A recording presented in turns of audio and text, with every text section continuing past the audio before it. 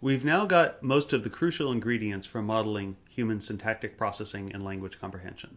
That is, how we, in real time, identify the meaningful and structured relationships between words in a sentence, how the words combine into phrases, phrases combine into larger phrases, and ultimately into sentences, along which meaning composition occurs, and we're able to understand what we hear and read. Those ingredients include statistics of the linguistic environment, which we can estimate as researchers from samples of the kinds of data that humans are exposed to every day. A focus on predictive incremental processing. Humans don't take in large swaths of text and then start to do analysis in their minds. We're actively and aggressively analyzing and incorporating each little bit of input moment by moment as we get it through our eyes and reading or through our ears and listening or eyes and signed language reconciling that input with the preceding context updating the context and moving on. And third we have a formalized model of this predictive processing based on the kinds of statistics that exist in the environment. We looked at the incremental probabilistic Earley parsing algorithm which is an eager algorithm. It actively incorporates all available information in any particular moment. And the one more ingredient that we're going to need now to actually link a theory like this to observable behavior is going to be a relationship between properties of a formalized model and things that we can observe in the environment. And um, we're going to use, we're going to return to the idea of word surprisal as a crucial part of that linking relationship. So to remind you, surprisal is the log of the inverse of the conditional probability of a word in its context in the special case of isolated sentence reading, where we present a sentence to somebody in isolation, as we often do in psycholinguistic experiments for convenience, the context might be just the preceding words in the sentence, but more generally, all sorts of information might be relevant, and the theory would, would predict that are used, that those kinds of information are used. Things like the larger discourse context, knowledge of your interlocutor, the visual environment, and so forth. Now, surprisal captures a very basic idea about not just language processing, but processing by uh, intelligent agents more more generally, which is that the more we expect an event, the easier it is to process. Active prediction and expectation forming can actually facilitate um, operation in your environment. Brains are prediction engines, and uh, there there's a reasonable hypothesis that this is actually a strong evolutionary constraint on the processing of input and the and, and preparation for action in all sorts of um, behaviors by intelligent organisms. In language, um, we don't have to try very hard to do prediction. In fact, it's hard not to. So, to re exemplify this, we've seen other kinds of examples, but I'll just remind you of this, um, this ubiquity of expectation formation in language processing by just giving you the beginning of a sentence, and you'll find that um, a word uh, as a plausible next word comes to your mind. Hold on to it, and I'll try to guess it. Here we go. So, if the context is my brother came inside too, um, chat might be a continuation, wash might be a continuation, get warm might be a continuation. But this is a very, um, a very highly uh, diverse uh, possibility context. Many, many different continuations can come out. So it's not that likely that I guessed correctly with any of these. But if I give you the context, the children went outside too, a lot of interesting things happen. First of all, I can guess the next word. Um, with high probability, you thought play, but not only that, you knew that I could guess the next word. So you not only have a very strong expectation for the next word in this context, but you actually have sort of awareness of that strong expectation, expectation that others would share it, and so forth. It's quite a remarkable testimony to the richness of human cognition as brought out by language, but more generally than language as well. Um, and we've seen before that predictable words are read faster and have distinctive EEG responses. So now this next step that we're going to do is hook up the idea of surprisal with probabilistic grammars that we just saw to give grammatical expectations. And it's the probabilistic Earley algorithm that's the underlying machinery that's going to give you those grammatical expectations, but it's computed on probabilities of a grammar. So to remind you, the surprisal graph looks like this. A probability one event carries zero bits of surprisal, zero bits of information. Um, it might as well not happen, but it has to happen. And as probability decreases towards zero, surprisal, surprisal increases asymptotically towards infinity. A zero probability event is infinitely surprising, but fortunately it never happens. So we're now going to take this um, and look at uh, a case of local syntactic ambiguity. You've seen local syntactic ambiguities before, but uh, we haven't covered this one in any detail. So uh, I'll just first give you the sentence, read it, reflect on it for a moment, and I'll read it with neutral intonation. When the dog scratched, the vet and his new assistant removed the muzzle. So take a moment to reflect on that. You can pause the video if you want and think about, um, for most people, if you haven't seen the sentence before or a sentence like it, this is going to be a very confusing sentence and you have various uh, kinds of inferences um, that will arise. Some of you may feel that the sentence sort of fell off a cliff, it didn't end.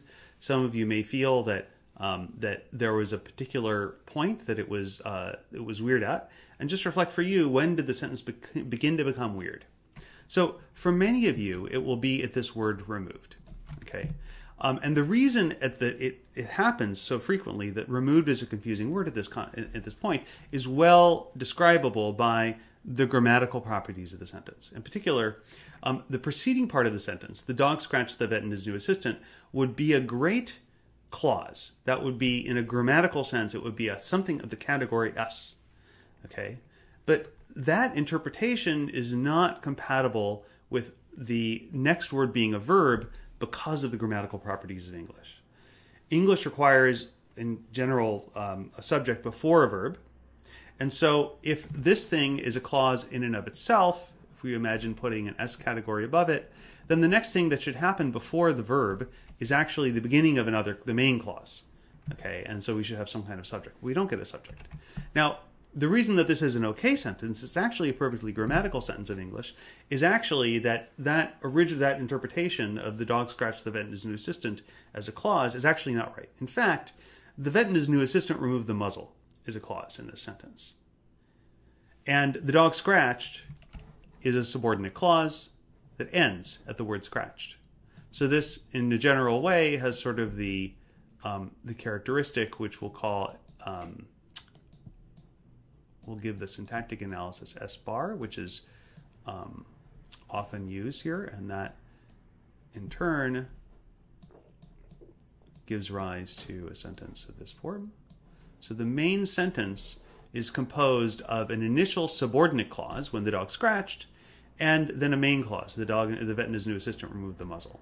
But that's not apparent to the incremental comprehender. This is one more illustration of the incrementality of language processing.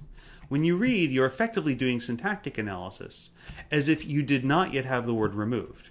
And before you see the word removed, there's no reason to think that the vet and his new assistant is not the object of scratched and hence part of the subordinate clause. And what it turns out is that the reanalysis of this sentence to change into this other syntactic configuration is very difficult and surprising. And in, in the old days, um, this is a classic experiment from almost 40 years ago now, Frazier and Rayner, 82. And in those days, they used um, the difficulty measure in an eye tracking experiment of milliseconds spent reading the word the first time you look at it per character. And actually, that's a really nice measure for a lot of reasons, but um, we won't dwell on that here for now. Um, the main point here is that this was 68 milliseconds per character, and we can compare this with a control condition, where, for example, you have a comma after the word scratched. Intonationally, this would be when the dog scratched, the vet and his new assistant removed the muzzle, and now removed is much easier.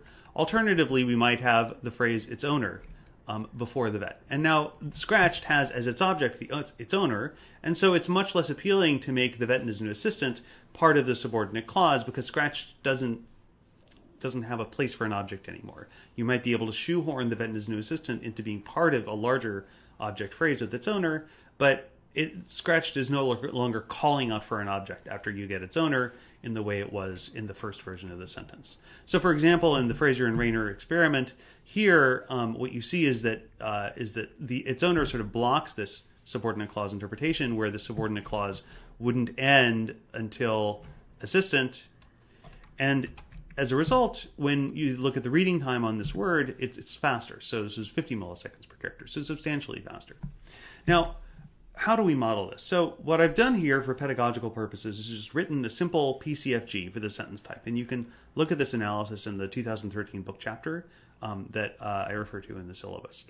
Um, the uh, the anal- this PCFG is a it's a toy model in the sense that the probabilities are not real probabilities from a corpus, and this is only a very small fragment of the language. But this highlights a few useful and important properties of English that are relevant for understanding this example. One is that for, so that um, sentences can start with subordinate clauses, S bars, and subordinate clauses usually have commas at the end, but they don't always. Okay, and that's actually an empirical fact about English. Verb phrases, of course, can be transitive. They might have a noun phrase after the verb, or they might not. They could be intransitive. just a verb. And Scratch note that it can behave both ways. And of course, noun phrases can have coordinations or not, and they can have adjectives and so forth. So what I'm going to do is I'm going to just um, take this grammar and then turn the Bayesian crank that the probabilistic Earley algorithm gives us. And under the scenes, behind the scenes here, I'm doing a little bit of analysis of how much probability mass is on these um, different possible incremental trees. Uh, and we're not going to go through those details. I just want to show you the outcome. Um, so there's a garden path analysis here um, that will uh, that, that, I'm illustrating here, where uh, the garden path analysis has the property that the vet and his new assistant is the object of scratched. That's what the syntactic tree illustrates. And with that analysis, we can ask, what's the probability of that analysis given the, these words? And it turns out under this grammar, this, this probability is fairly high. It's 0.826. There's another analysis, which is actually the ultimately correct analysis, where the vet new assistant is not the object of Scratch, but actually the subordinate clause ended at this point after Scratched, and the vet new assistant is the subject of the main clause, and we haven't yet seen the verb for that main clause. This tree structure has a relatively low posterior probability given these words, just 0.174. Now, within surprisal theory, how do we say, how do we talk about whether the word scratched is surprising or is, is hard or not? Well, we have to compute the surprisal of the word given the context. Now, when you have multiple trees, we're going to need to marginalize the actual underlying syntactic analysis, syntactic tree, before you get to that word scratched in order to determine its probability given the preceding words. Because surprisal says what matters is the probability of the word given the preceding context. In order to get that through a grammatical model, you have to marginalize out the trees. And so ultimately, what this boils down to is how likely, how well is each of these analyses able to predict that removed might be the next word. And you'll notice that the upper uh, analysis is it's not able to do that because before it gets to the main verb, it has to have a noun phrase subject for the main clause. You have to get to the subject of the main clause before you get to the verb. So the preferred analysis is unable to predict the word remove. It's only the dispreferred analysis that's able to predict the word removed. And um, it turns out that this has the property that um, will that that the disambiguating verb is intrinsically going to be surprising in this case relative to what it would be in other situations. And the reason is that um, is that when you look at the marginal probability of the word and the role of the incremental trees, that you're oh, that you're weighting the likelihood that each incremental tree, each analysis would give to the next word being removed, by the posterior probability of that analysis given the preceding words in the context. And what you have is a situation where the preferred analysis is unable to give you removed as the next word. Only the dispreferred analysis can. And so you're multiplying a zero by most of the probability mass, and then you're taking the non zero number and multiplying it by a relatively small conditional probability of that analysis given the preceding context. And that's going to give you a, a fair amount of surprise. And how does this manifest? We can compare this example to the minimal pair from the original experiment, where its owner exists in uh, the subordinate clause as the object of scratched. So this is the NP present version, and the former thing that we saw on the previous slide was the NP absent version. And when we look at the surprisal of the word removed at this verb, we see that not having its owner in the context increases the surprisal by 2.2 bits. Okay. Now, that's one phenomenon. There's actually an interesting second order phenomenon in the same overall configuration. And this is due to a more recent experiment by Staub, 2007. And this is a superficially similar looking example, once again with neutral intonation. When the dog arrived, the vet and his new assistant removed the muzzle. Now, you probably, in contrast to the preceding example that we looked at, have a different experience with this sentence. So, empirically, once again in eye tracking studies, um, we find that removed is easier actually. Um, that in this case, when the verb is arrived, than in the original version when the verb was scratched. But actually, there's another thing that happens, which is that the that also people seem to slow down a little bit at hitting the word the vet, at hitting the word the, uh, followed by the vet. And um, once again, we're going to compare this with the scratched version of the sentence. So relative to the scratched version of the sentence, the arrived version of the sentence is harder at the vet, easier at removed. Why would that be the case? Intuitively, it's because Scratched does set up an expectation for the ver- for getting a, a noun phrase object after it, and arrived does not because arrived is usually used as an intransitive verb, whereas scratched is, is very often used as a transitive verb. And so um, that is not a disambiguation effect in the same sense. But what happens is that scratched predicts a phrase of the form the something here and makes it easier to process relative to the verb arrived. But then you pay later on because the way that Scratch predicts that is through assumption of a syntactic relationship that the vet is the vet is new assistant is the object of Scratched that ultimately turns out to be wrong. This is sometimes known in psycholinguistics as pay now or pay later. With the arrived version, you're sort of paying now for getting a surprise at the ver- at, at uh, the vet, but you ultimately wind up in a correct analysis. So this is easier. Whereas scratched makes you pay later. You don't pay here because you actually predicted the right kind of phrase, but you predicted it in the wrong way, and so you get surprised here. So let's see how this works. So actually, this probabilistic grammar is not going to be able to capture this more detailed pattern with a scratch derived distinction.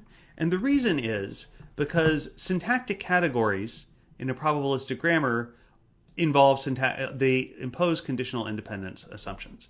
In particular, the outside of a syntactic category is independent of what the inside of a syntactic or category in a probabilistic context free grammar conditioned on the label of the category. So the rewrite, and, and one way to think about that is that if I have a V category in my sentence, in my tree, then which verb it turns out to be cannot be dependent on the outside context because the probabilistic grammar doesn't know anything in terms of the probability assignment except that the left hand side of the rule is V. Okay. However, we can refine our grammar. So there are mechanisms for relaxing. You can think of that as a probabilistic locality assumption. And you can relax that probabilistic locality assumption in probabilistic context free grammars by enriching the category representations.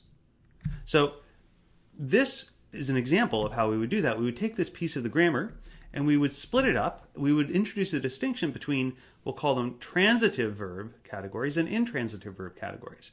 This is actually reminiscent of how we would deal with, for example, capturing subject verb agreement properties in a non probabilistic grammar. Okay, and it's a similar kind of move.